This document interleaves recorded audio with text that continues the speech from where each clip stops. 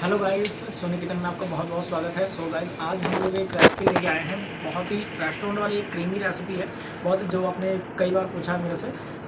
आज हम बनाने वाले हैं टोमेटो ग्रेवी टोमेटो ग्रेवी बहुत ज़्यादा फ़ेमस है रेस्टोरेंट में। लाइक जैसे पनीर वगैरह बनाते हैं, पनीर बटर मसाला चिकन या फिर जैसे बटर चिकन वगैरह, ये सारी जो डिशेज बनती हैं, बहुत ही ज़्यादा उसमें क्रीमीनेस होती है। तो वो टोमेटो ग्रेवी की तो टमाटो ग्रेवी बनाने के लिए हमने एक किलो टमाटर लिया है, उसमें लहसुन और अदरक थोड़ा थोड़ा काट के इसके अंदर हमने डाल दिया है और उसमें पानी डाल के हम इसको उबालने के लिए हम इसको रख देंगे गैस के ऊपर।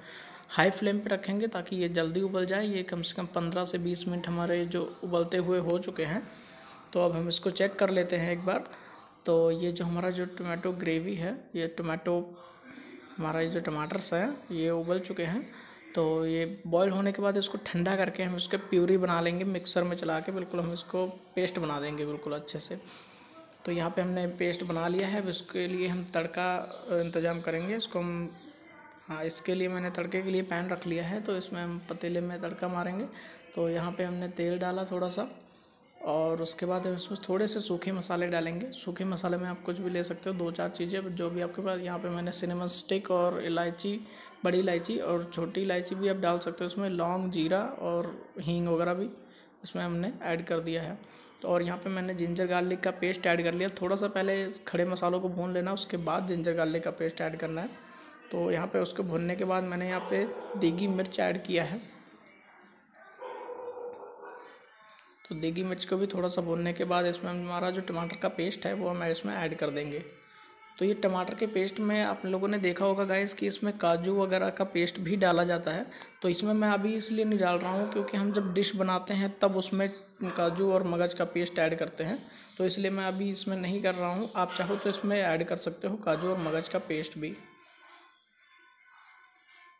तो इसको बहुत ज़्यादा थिक है तो इसमें थोड़ा सा पानी डाल देता हूँ मैं। अब इसको हम अच्छे से पका लेंगे, इसको हम उबलने के लिए रख देंगे। अब इसको दो तीन उबाल आने तक थोड़ा सा नमक भी डाल दो उसमें। आप नमक बाद में भी डाल सकते हैं या अभी भी डाल सकते हैं। और इसमें थोड़ा सा हमने शुगर डाला है। शुगर थोड़ा सा देखा होगा ग्रेवी थोड़ी सी मीठी होती है रेस्टोरेंट वाली। तो इसको हम तो इसको हम अच्छे से पंद्रह मिनट तक पकाएँगे। तो पंद्रह बीस मिनट इसको पकाने के बाद हमारी जो ग्रेवी है वो रेडी हो जाएगी। तो इसी ग्रेवी का यूज़ करके मैं नेक्स्ट वीडियो में एक पनीर बटर मसाला बनाने वाला हूँ। तो उसका जो लिंक है वो मैं इस वीडियो के डिस्क्रिप्शन में दे दूँगा। आप वहाँ से जाके देख सकते हो। या फिर ऊपर आई बटन पर क्लिक करके आप देख सकते हो उसका वीडियो तो जो हमारी ग्रेवी है वो ऑलमोस्ट रेडी हो चुकी है। तो अब हम इस गैस के फ्लेम को बंद कर देते हैं।